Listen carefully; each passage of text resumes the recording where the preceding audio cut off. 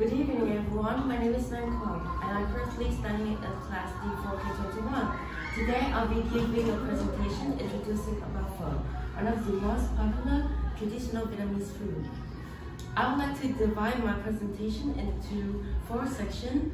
First of all, I will introduce what pho is, then we'll learn about pho history and origins.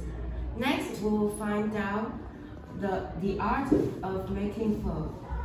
And the last part, we will learn about the, the diversity of varieties.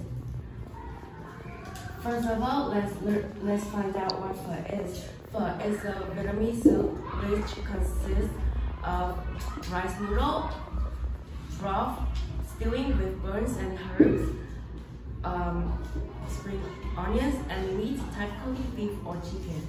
Pho is usually served with with chili, chili sauce, lemon, and a special sort of fried dough called guan.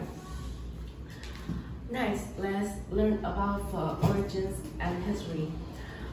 Pho history is somewhat kind of murky, but people believe that pho traces its origin back to the early 20th centuries.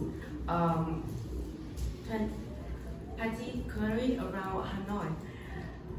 Used to be served by street vendors who carried their mobile kitchen on their shoulders, serving hot, streaming bowls to customers. Uh, next, let's, let's learn about the art of making pho. Making pho requires tact, perseverance, and patience. The broth of pho is the is the, the heart of this dish, so it must be steamed for many hours, and the meat must be fresh as well. Last, let's, let's learn about the diversity of variants.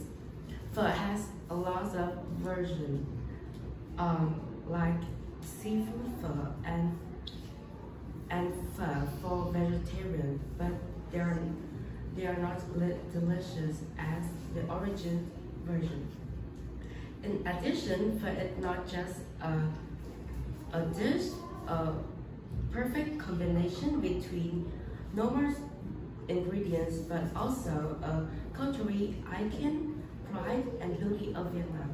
That's the end of my presentation. Thank you for watching and listening. See you next time. Goodbye.